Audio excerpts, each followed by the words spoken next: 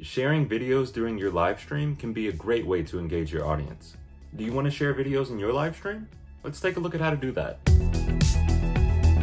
Hey, I'm Mylon Joseph on the support team here at StreamYard, and I'm here to show you three ways to share videos during your live stream. One way to share videos during your live stream is to use our video clips feature. Many streamers use this for intro videos, countdown timers, and outro videos to end their broadcasts. To add video clips to your stream, click the brand tab on the right side of the studio, scroll down to the video clip section, and then click the plus sign icon to upload videos directly from your computer.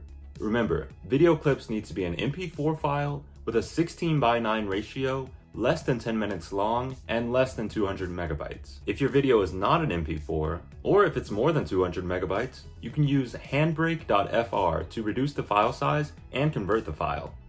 If you want to share a longer video or a video with a bigger file size, you can use method number two, our video share feature. The video share feature allows you to upload a video directly from your computer and there is no file size limit or length limit. To use this feature, select Share at the bottom of your StreamYard Studio, then select Video File and click the video you want to use.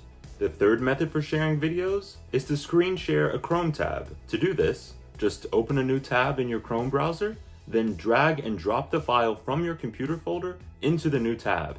Once you've selected the Chrome tab you want to use, make sure to click Share Audio so that the audio will feed directly into your stream. Pro tip, if you're sharing music, make sure you own the license to play it. Guests can share video too, using our screen share method and our video share method. When a guest shares a video, it'll pop up in the backstage area, then you can click it to add it to the stream. Well, there you have it. Those are three ways to share videos in StreamYard. Which way are you sharing? Be sure to click the subscribe button and the notification bell so you don't miss other helpful videos like these.